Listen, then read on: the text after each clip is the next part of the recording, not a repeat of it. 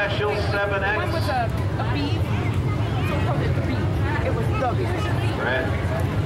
Jeff Paul down here. Jeff Paul photography. Don't forget about Rocky Ragusa as well. bought that thing when I was like six. As he climbs out, he gets unstrapped. The Willard Best Memorial here tonight. Illinois Lightning Sprint Series. Oh my God. One of the And big feature win race fans. How about it for Corey Wyatt?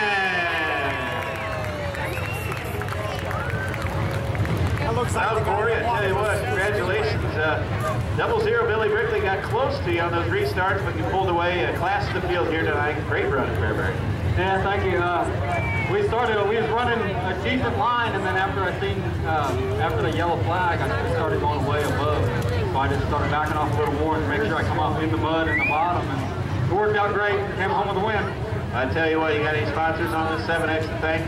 Uh, Mayhem Fiberglass, he actually, he owns the car, and he always puts a hell of a car together for me, they always hook up the track, and my dad working on it. I, big thanks to all of them. I tell you what, you had a tough night last night, got on your lid, but you came back through the feature. It's got to be nice to end up in victory lane here on a Saturday night. Yeah, last night we had a real tough night. Uh, flipped it hot laps, missed the heat race, started 19th at feature, and wound up third. So we had one hell, we had a hell of a run last night. To bring home a win tonight, make it all better for the weekend. We appreciate you coming. Congratulations. All right, thank you.